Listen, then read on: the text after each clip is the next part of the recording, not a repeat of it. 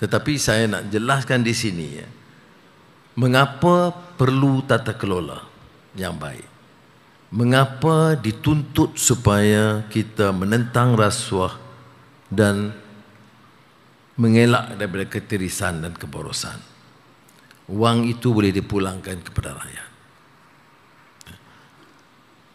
Sebab itu saudara harus faham kalau kaedah pendekatannya seperti lama ia tidak mungkin akan memberikan kesan yang baik. Jadi percayalah selagi saya punya mandat untuk mentuai kerajaan perpaduan ini satu hal yang saya tidak akan tolak ansur setelah saudara tahu menunggu sekian lama masuk keluar penjara sampai dah umur pun dah agak lewat sedikit dah. Ya. Kalau ada orang menjangkakan saya jadi Perdana Menteri tahun 1999.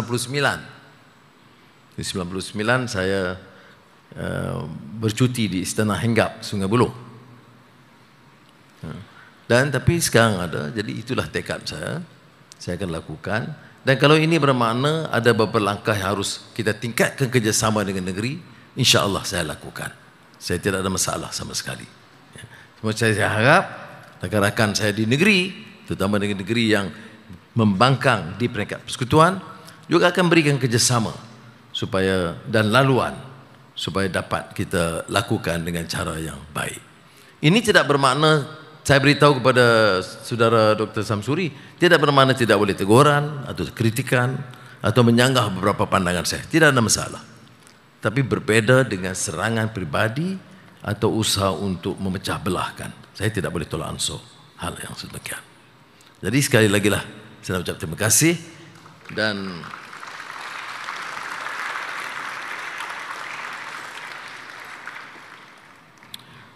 ada hal-hal yang mau disebut tentang peruntukan ni tapi saya ingat saudara mahu nak dengar juga ya peruntukan pembangunan empat negeri.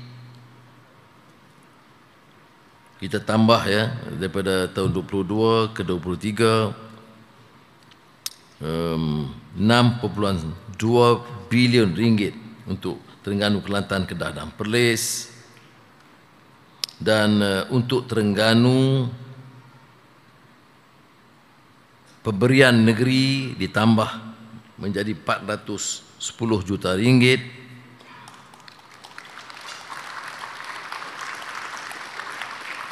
Peruntukan kecil di bawah kementerian, satu kementerian saja, Kementerian Desa dan Wilayah untuk Negeri Tengganu, untuk projek jalan desa, bangunan dan uh, baik pulih rumah, bekalan air luar bandar dan desa, itu lebih 100 juta ringgit. Ini selain daripada projek yang diumumkan dan insya Allah saya akan sempat bincang lagi dengan Menteri Besar pada hari Selasa akan datang.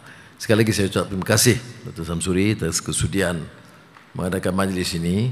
Nampak tak ada kalau dengan kita macam saya datang Terengganu ada masalah, saya tengok tak ada masalah pun. Mak, tapi makan enak boleh ya. Makan kot naik chancellor jaga kata Menteri Besar. Kalau agak kurang enak kita boleh minta Menteri Besar tambah. Sekali lagi ucap terima kasih, doa kata Allah Taala jangan lupa kita ada beberapa baki hari uh, Ramadan Karim, kul amu antu bi khair. Mudah-mudahan kita memudahkan. Jangan fikir soal Syawal. Saya pergi mana pun ditanya. Tadi pun ditanya. Bila hari raya?